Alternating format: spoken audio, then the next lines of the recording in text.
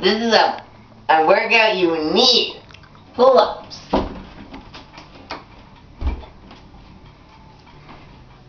Your feet's not even coming off the ground. That was a good workout. Okay. Next workout. What's with that bag of trash? I don't know. Uh, anyways, next workout. We're gonna put both feet in the air and kick. Yeah, what? Okay.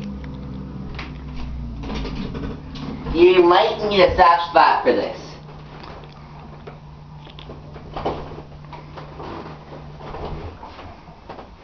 Yeah, I know I'm a little beast.